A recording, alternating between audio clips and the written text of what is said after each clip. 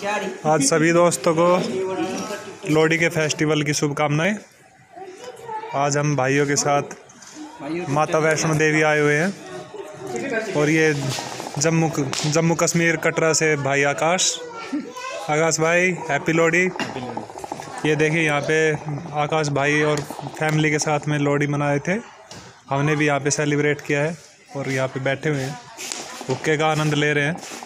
आकाश भाई ये इनके छोटे भाई। और ये तिरकुटा पैलेस कटरा में बस स्टैंड के पास में हम स्टे कर रहे हैं। ये और क्या कोई और आए तो यहीं क्या ना। ये इतना तू भी कह सकता है। सारा मैं ही कहूँगा। तेरी एक आवाज़ रहेगी ना मेरे।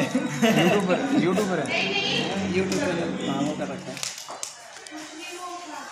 भाई आकाश से मिलके बहुत अच्छा लगा यहाँ पे। हमें बहुत अच्छा लगा।